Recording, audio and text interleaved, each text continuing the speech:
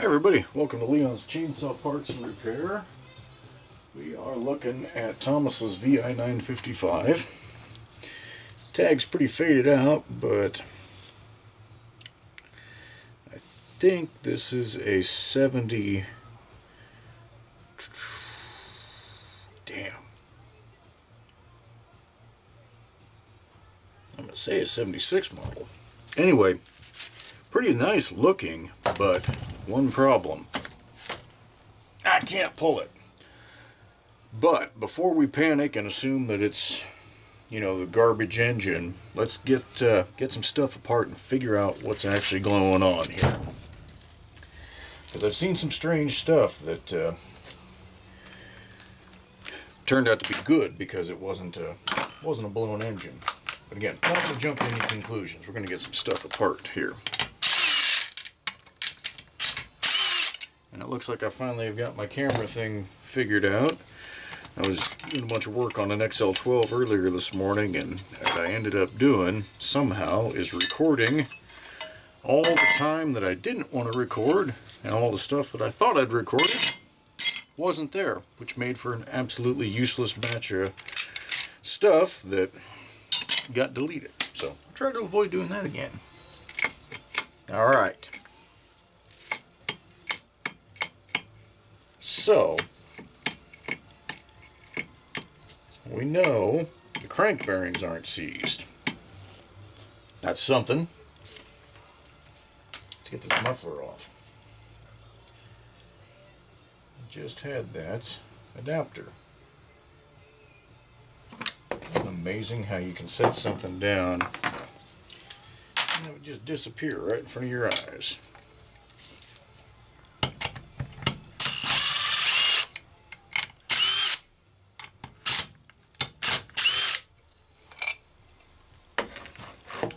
Okay. I remember talking about this. Piston looks good. At least what we can see of it. But I want to point something out. You can see the piston looks good. But look at all that corrosion down there below that mounting on the bottom of the cylinder there. I don't know why that's there. I'm actually questioning whether it's corrosion. It's not. It's some sort of a greasy, oily thing. That's something I don't normally see on one of these. Again, I'm not going to jump to any conclusions because I really don't know. But the piston does not move when we're doing this, which I think is why Thomas was under the impression that it's got a broken connecting rod, and it very easily could.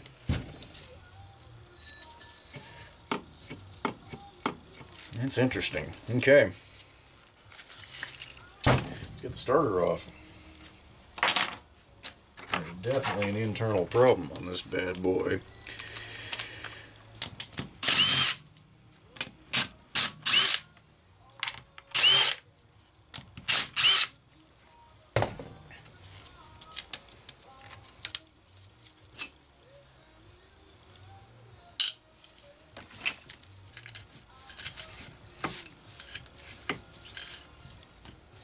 Wow. That's a lot of movement to never see the piston move. Wow. Alright, well we're going to find out what's down in there. Okay, these VIs are a little bit more of a hassle to work on than a standard 925 because of this isolation system. We'll see how much I'm doing. Uh, and whatever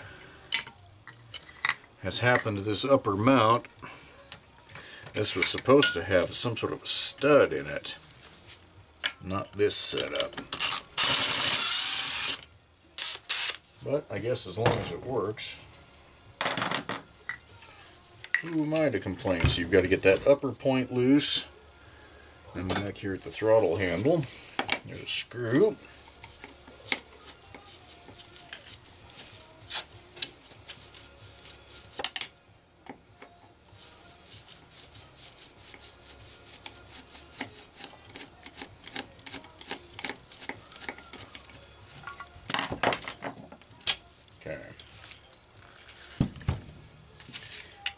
Attempt to keep this stuff straight. Yeah, it's definitely homemade, but you know, it's working.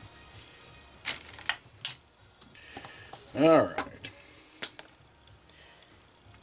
This is going to have to be torn down just about as far as one of these things can go.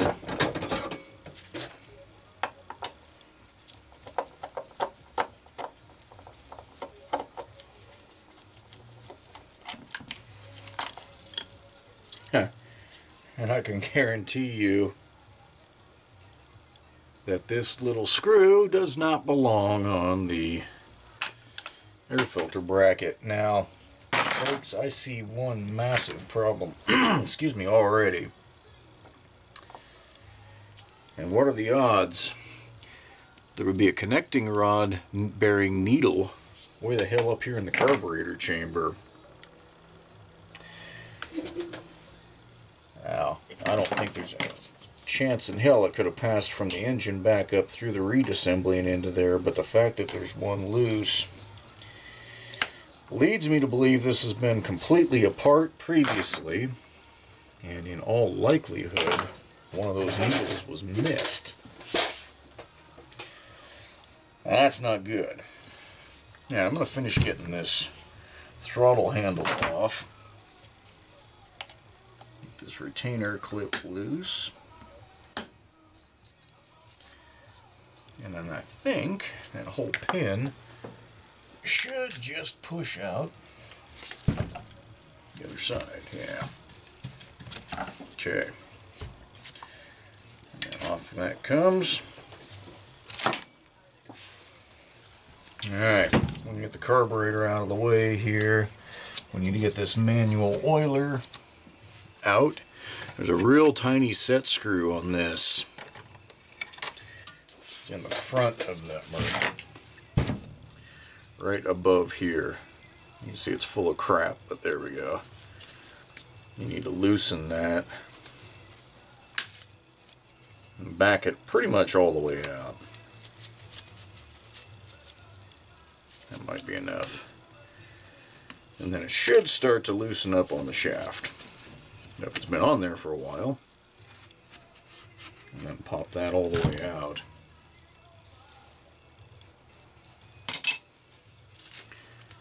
Oh yeah, this has had some work. That is not a Homelite hose. It's also spongy as hell. It's interesting. Normally oil doesn't do that to these hoses. But we'll leave it hooked up now so it doesn't puke all over the bench. Wow. I just don't. The more we dig, the more. There's another another connecting rod needle. That's two now. I don't know what the hell is going on here, but it's I think it's safe to say it's nothing good. So the fact that the piston looks good is great, but if, say, a connecting rod breaks while the engine's running, which is, it's when it's going to happen, the odds that it didn't gouge the ever-living crap out of the bottom of the cylinder, I don't know. That's, that's a tough one. Because if the, the skirt of the cylinder gets all scored up, it's just as bad as if the upper part does. Because the piston will touch it, get torn up, and, and it's game over. And we'll see. Alright choke rod out of the way. Ah, that fuel hose. shot. There we go. Okay. So, keep finding stuff here. Wow. That's actually a broken rod bearing needle. Well, maybe I'm wrong. Maybe this reeds assembly in here is completely destroyed. Because here's some plastic that looks like part of the reed cage. Boy, this is... I don't know what to make of this, folks. This is... new to me. I haven't seen one do this before. Let's see if we can get this carburetor chamber off.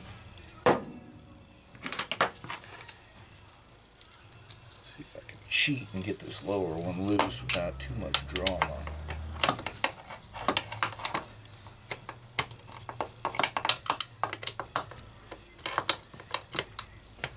At least get them loose. There we go. So the distance out there, out front, I hear the mail truck. And that is great news. Providing the box that he's going to be dropping off is as in good a shape as it was when it left Canada. I was, uh, oh heck, fella in Canada that I've been working with to get a bunch of parts for a. Uh, we decided it was a Super or a XL 923 saw that he has. Uh, he sent me this uh, ad on Kijiji. I think that's how you pronounce it. Somebody correct me if I'm wrong. Uh, and it was for a saw that you just don't see ever in the States. I've only ever seen one of them uh, in Europe, and it was a collector that already owned it. There might be a, might be more than one on Magnus's site. I'm not sure. But anyway, we'll be doing an unboxing after after this guy.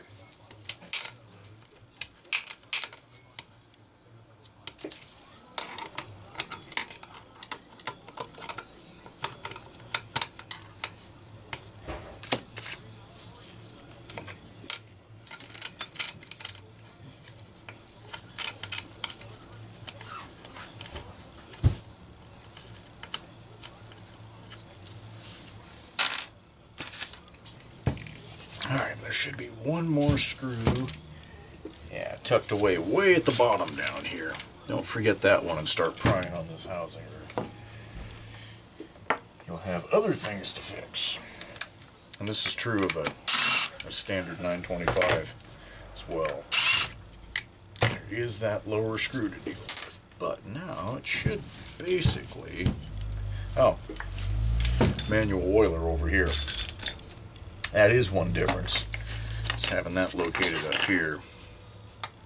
So now I guess it is going to puke oil all over the bench if it's full. We'll hope it's not.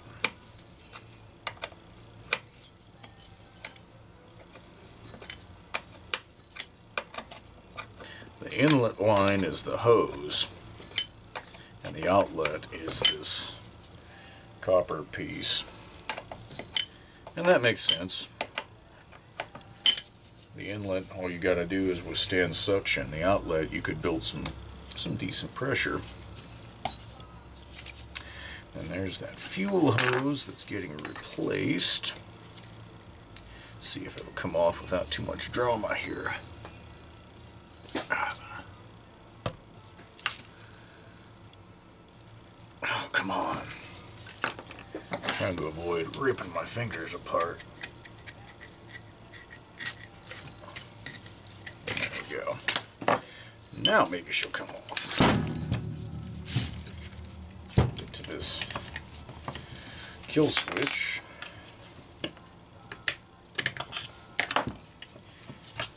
Okay. Obviously this bad boy needs a little cleanup. Alright, I guess we better get coil off. Oh wow.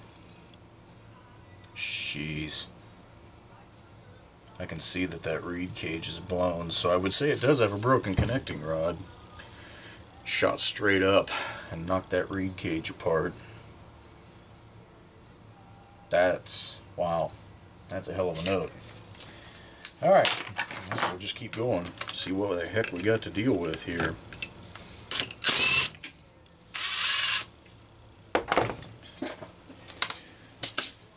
This is definitely one of the more wild situations I've come across. The seesaw is not uncommon, but damn few actual broken connecting rods. So I'm going to be interested to see where it broke and see if we can figure out why it broke.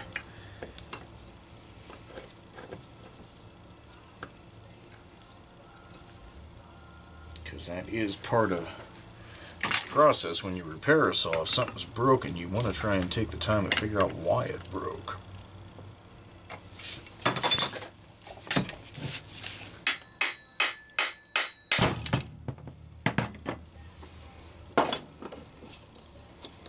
That way you can prevent it from breaking again.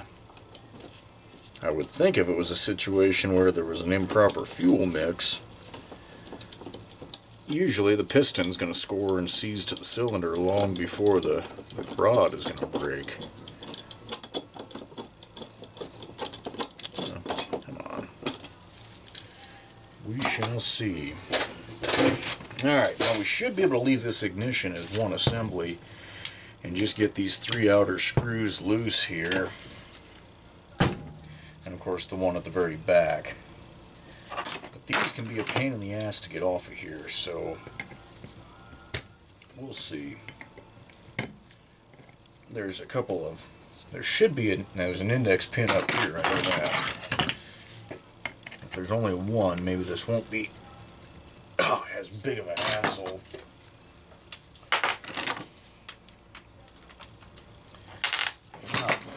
How tight those appear to be. I don't know. Hell size?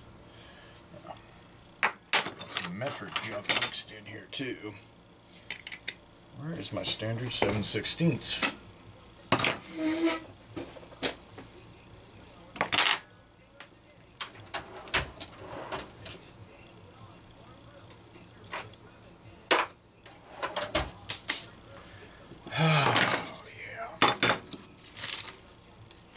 so many saws apart today.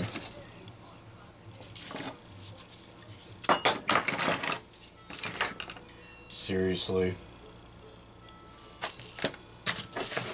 Say, even if on the camera it looks like this bench is a disaster, it's not that bad.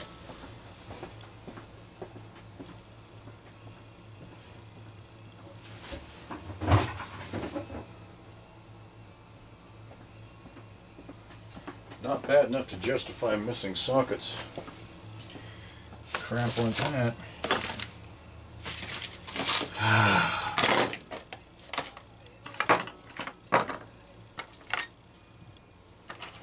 Alright.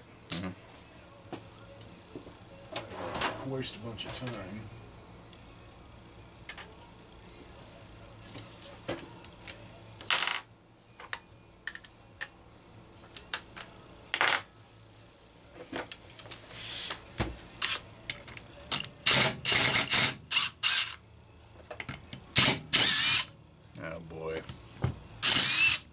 Someone's been in here.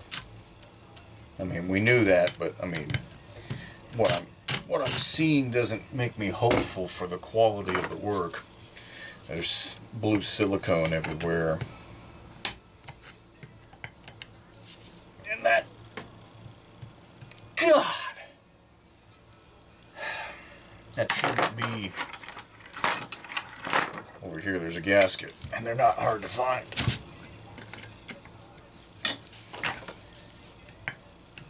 So, yeah. I can understand using silicone in place, you know, gasket maker type in place of the gasket if it's not available, but these are available. Easy to find. Alright, so this is where you got to be really careful. You can't ding up crankcase you can break this mount.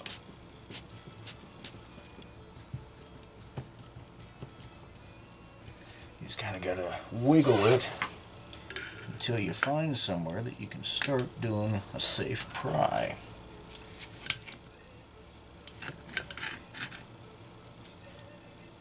And this is flexing so much that is not it at the moment.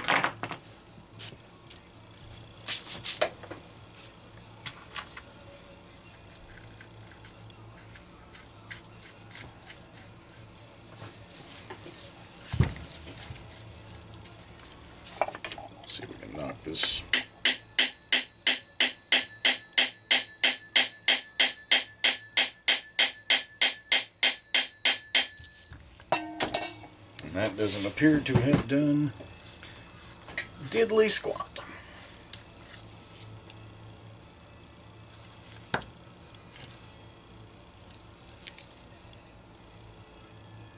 Yeah, might have moved a little bit. Actually, it did.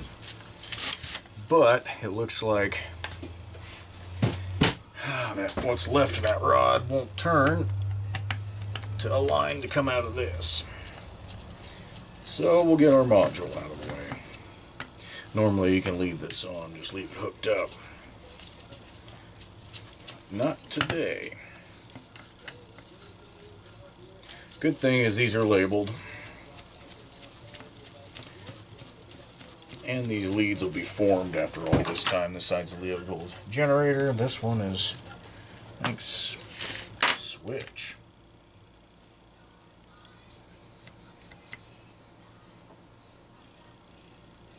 Nah, I can't even read it. It's so full of garbage. But like I say, these are molded. They are coated with a silicone to keep it from arcing to the bottom of the flywheel. And we will probably do that ourselves if this gets reassembled.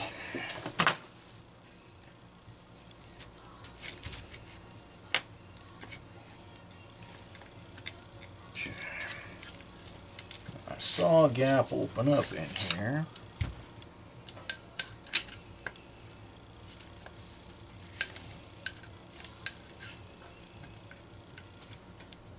Not a huge one, but enough to get started. We can keep this side from closing back up. Pry on this side. We should get that index pin to start releasing. Or just break a little tab. Not careful. Nope. I do not like this particular design. There she goes. Come on, baby. Once you get it to start to move, then you're home free.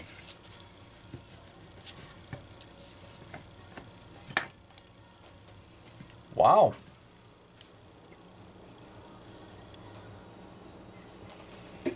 You shouldn't see metal on that back plate.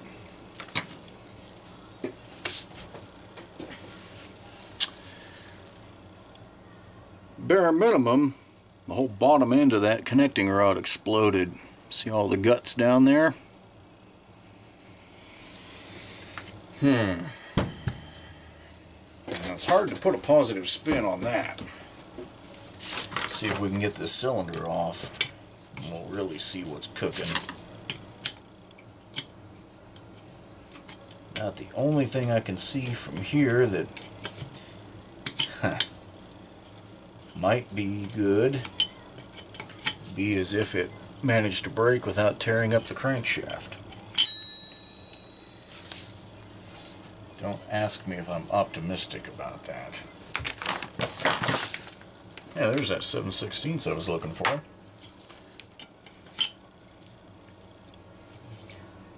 Kind of like when you're trying to think something at work and you remember in 2 in the morning when you wake up. No use at that point. Ah, now, the very tight clearance here. Next to no room to spin the wrench. Especially as you get to the top of the threads.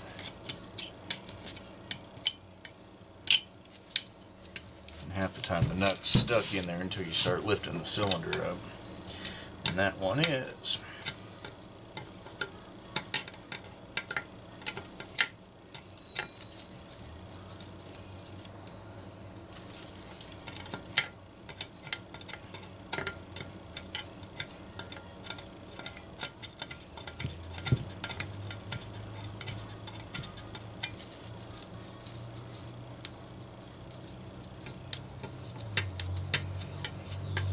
jug.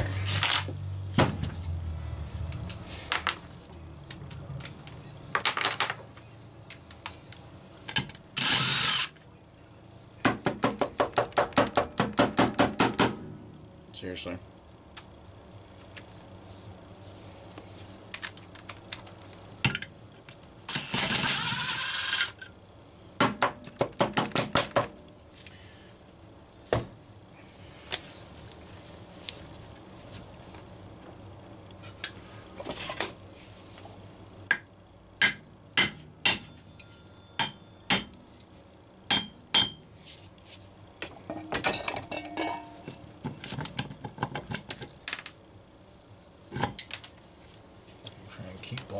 Crap together.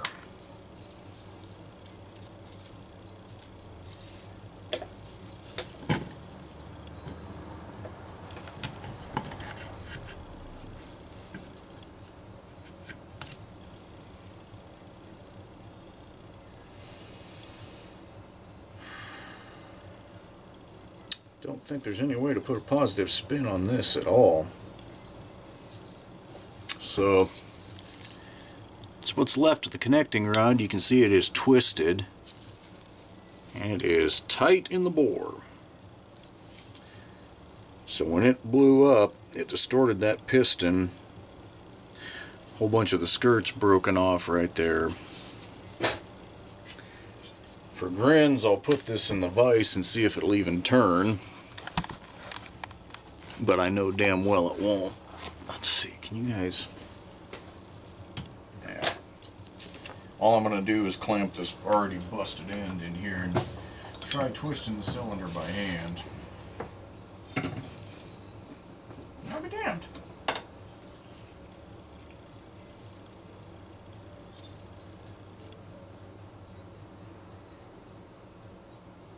I'll be damned, folks. I'll have to clean this up.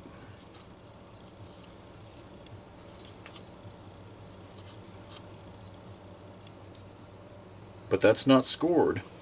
Nope, okay. One of the needles took a big chunk out of a transfer port there. That seals it. Piston and cylinder are garbage. And yeah, a person could probably try to smooth that opening of the transfer port out, but it's never going to be right. That's going to affect your fuel timing.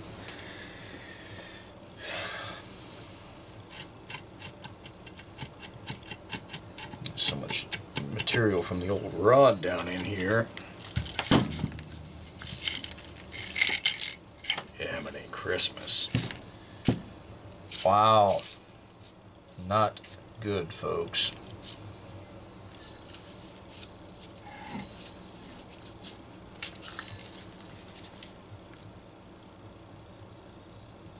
And the crank is scored. Okay. Alright, well, I don't like these kind of videos. Thomas, we got issues. I don't even know. A rod, yep, we'll find that easy enough. A crank, I probably even have that in stock, especially given that this is the electronic ignition. Uh, it's the piston and cylinder. Red Barn makes reproduction pistons. I've used them. They are not bad. They'll work. But a cylinder, those don't grow on trees. So unless we can locate one used somewhere, which that I don't have, it's going to be tough to get this one going. So